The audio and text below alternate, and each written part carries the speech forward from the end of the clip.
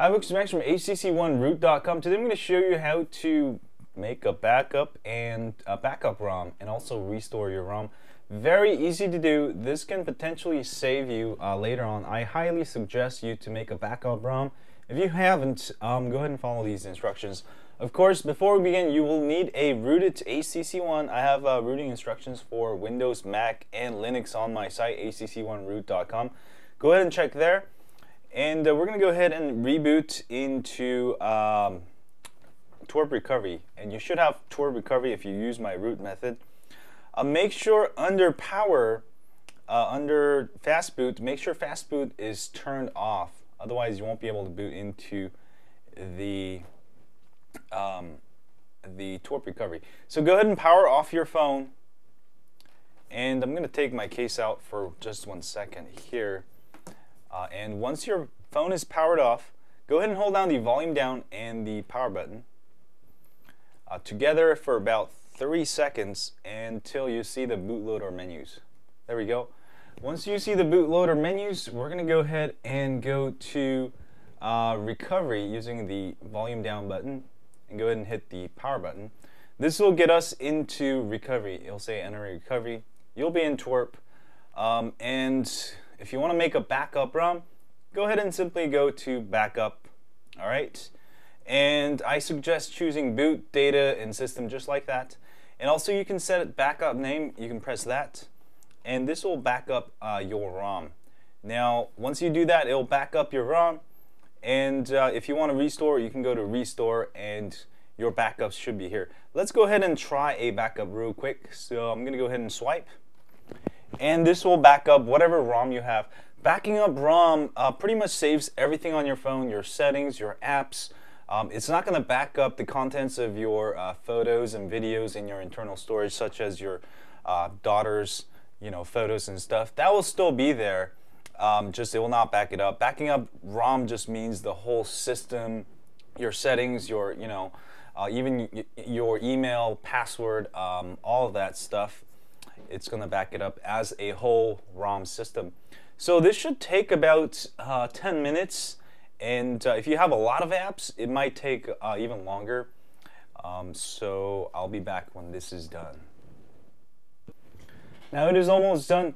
Um, I know some of you may have questions about where the backups get stored. They get stored under the directory called TWRP in your internal storage. Um, so you'll be able to actually find all of your backups uh, in that directory, most likely time-stamped, or also you can name them, rename them.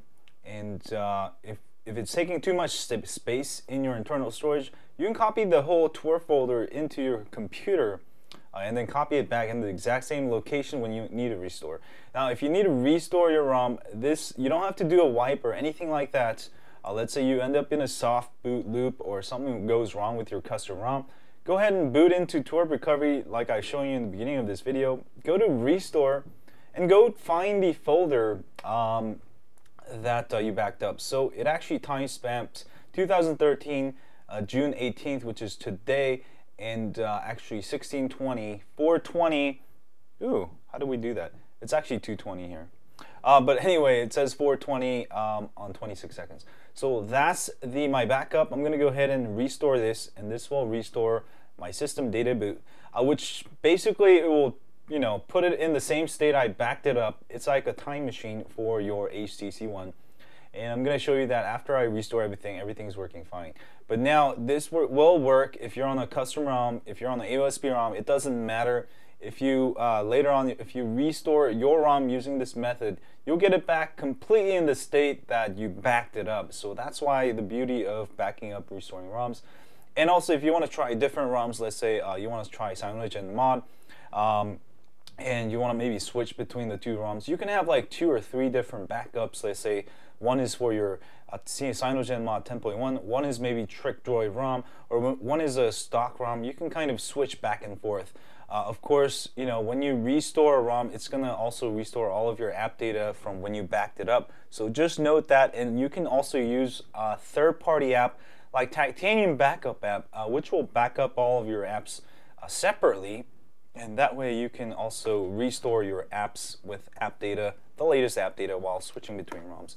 Um, so this should take about the same time it took me to back up, about 10 minutes. So I'm gonna let it aside and I'll be back when this is done restoring. Hi folks, so once it's done, you'll get this uh, restoring everything uh, done completely without any errors. I'm gonna go ahead and reboot system to show you that my restoration of my backup was um, successful.